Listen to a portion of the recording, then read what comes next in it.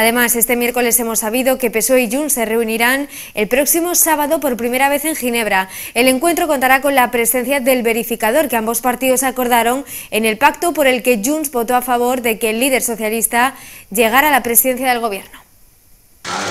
PSOE y Junts mantendrán en Ginebra, Suiza, su primera reunión tras la investidura del secretario general del PSOE, Pedro Sánchez, el próximo sábado 2 de diciembre, según han confirmado fuentes conocedoras de la negociación.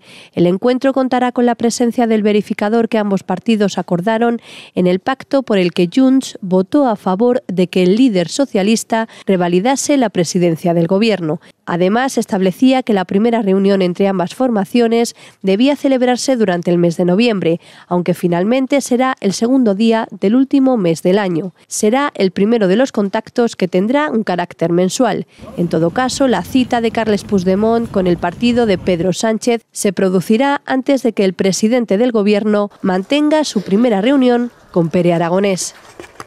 Muy buena tarde.